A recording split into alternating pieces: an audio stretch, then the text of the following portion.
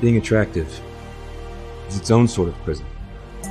What if we stopped offering thoughts and prayers, and instead offered prayers and thoughts? For many years, we've watched TV, but now the TV watches us.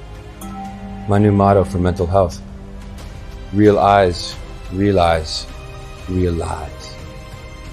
Sit with that one for a minute. It's hard to believe that 10 years ago was just 10 years ago. So it's totally normal for a guy to be named Guy, but weird for a girl to be named Girl. If you drop a single tea leaf into the ocean, the ocean becomes one very diluted tea. I mean, at this point, why are they even called phones?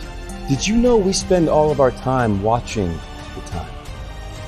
Most of the time. But what happens when we run out of time?